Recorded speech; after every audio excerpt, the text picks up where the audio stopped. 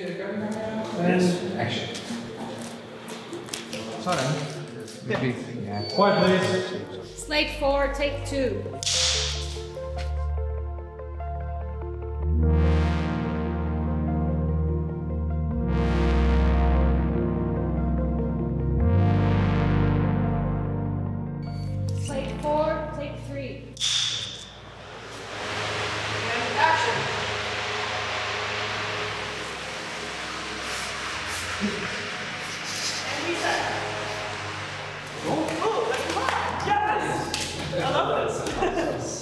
My name is Rika. I usually work as a writer and director, uh, and on this project, I'm the director.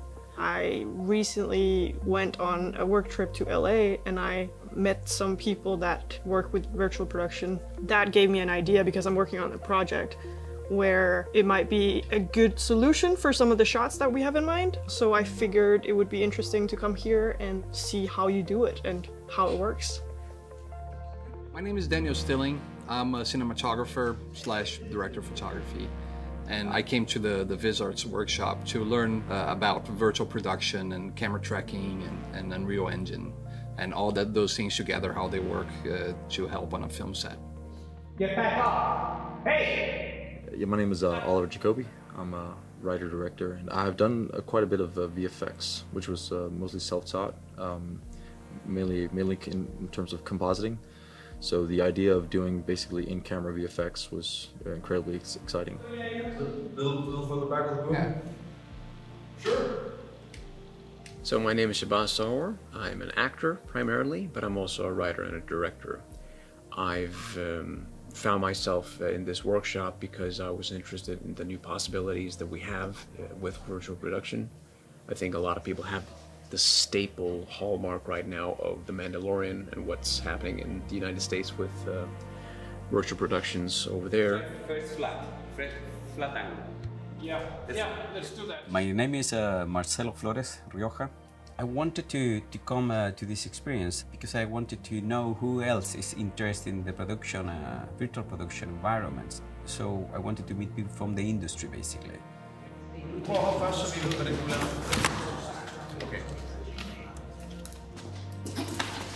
it's interesting to see with this amount of equipment or on this level uh, how much you actually can achieve. Slate three, take two.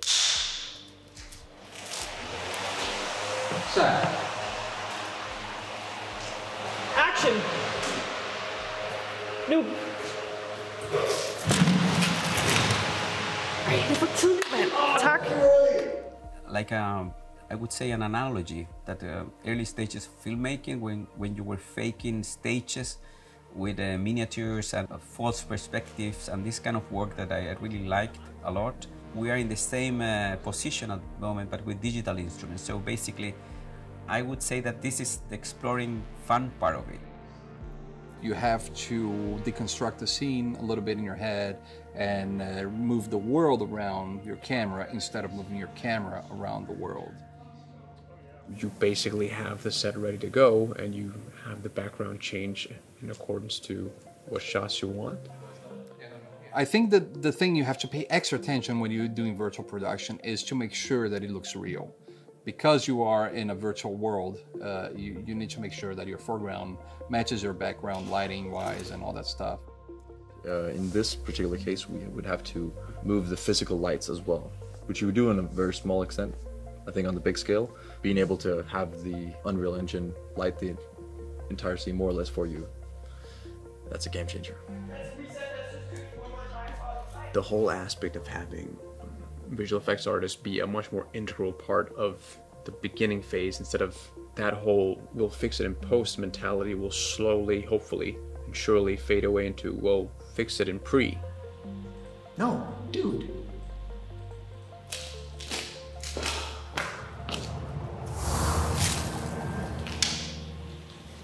Just like in the beginning of digital when we got the DIT and we didn't quite know what to do with them, and now we know that we can work together, create LUTs on set, and that, all that kind of stuff is great.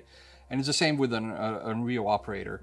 Uh, he can create all the reality, although you do all that stuff in pre-production. On the day, he can help solve problems and, and get things done.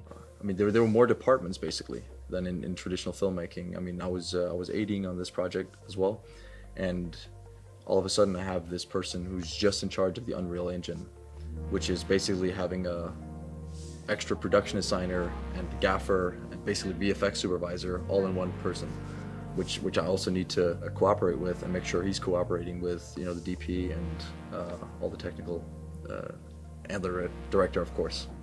Well, so I think the big challenge here is that you have a bunch of tech people and you have a bunch of film people, and you need to merge the two worlds, and you need to learn to communicate together. Så der bliver ikke noget signal fra dig. Når vi ser action, så kører jeg. Ja, så starter jeg toget.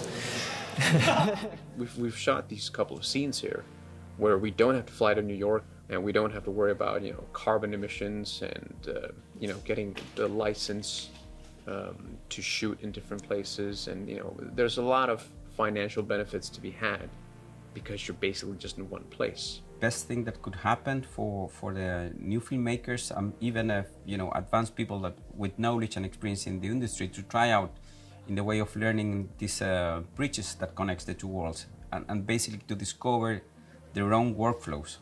Like this is why this workshop is so good is because we need to exchange the knowledge between the tech people and the film people. Den her tracker var lige foran, men jeg kunne ikke se den. Så, ja. Oliver, can you My put bad. the stick to the side so I can see the screen?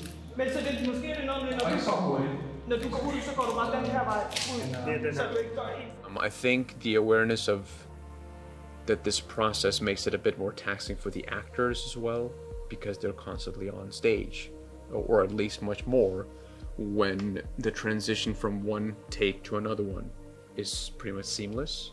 So that's something that one should be mindful of as, an, as a performer themselves, or also people who are working behind the camera to make sure that we're not overstressing the talent. Because at the end, all of this technical marvel is to make sure that the performances caught on camera are, you know, legitimate.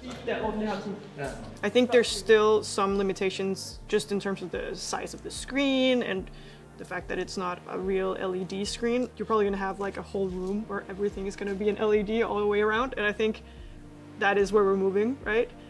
Because if you have a big, if you have that whole canvas around, you can also move around then with the actors, and you can um, build bigger set pieces, and that will actually set you more free. It just makes you know budgets coming down. Budgets coming down means more filmmaking for the buck. This workshop uh, has shown me that, that, that virtual production is, is a tool, a feather in your cap that you can use for certain things. And it's important to know that when to call in on that. After doing this workshop, I'm curious to, to try everything related to, to virtual production. It's a great world to jump in and, and become an expert, a world I feel like I'm, ViZARTS have helped me get well equipped to tackle that. Uh, so yeah, anything come my way, I'm there. Ladies and gentlemen, if I'm not mistaken, I believe that's a wrap.